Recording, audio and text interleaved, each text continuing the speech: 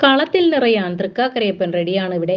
ഓണമെത്തിയതോടെ കൊടകര കുമ്പാരത്തെരുവിലെ വീടുകളിൽ തൃക്കാക്കരയപ്പൻ നിർമ്മാണവും മിനുക്കുപണികളും ചായം പൂച്ചലും അവസാന ഘട്ടത്തിൽ.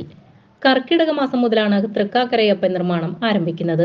പല വലുപ്പത്തിലും രൂപത്തിലും ഡിസൈനുകളിലും ഇവർ കളിമണ്ണിൽ തൃക്കാക്കരയപ്പൻ രൂപങ്ങൾ മെനഞ്ഞെടുക്കുന്നത്.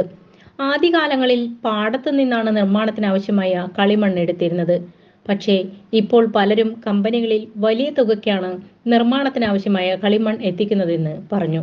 അരയടി മുതൽ മൂന്നരയും നാലും അടി വരെയുള്ള തൃക്കാക്കരയപ്പൻ നിർമ്മിച്ചു വെച്ചിട്ടുണ്ട്. ഓണം കൊള്ളുന്നതിനായി മൂന്നെണ്ണമുള്ള സെറ്റുകളായാണ് അധികവും വിൽപ്പന നടക്കുന്നത്. മുൻപ് ഓട് പൊടിച്ച് അരച്ചെടുത്ത ചായമാണ് തൃക്കാക്കരയപ്പനിൽ പൂശിയിരുന്നത്.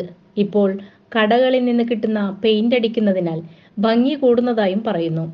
ജില്ലയുടെ പല ഭാഗങ്ങളിലേക്കും കോയമ്പത്തൂർ ചെന്നൈ ബംഗളൂരു കൂടാതെ വിദേശത്തേക്കും ആവശ്യക്കാറുണ്ട്.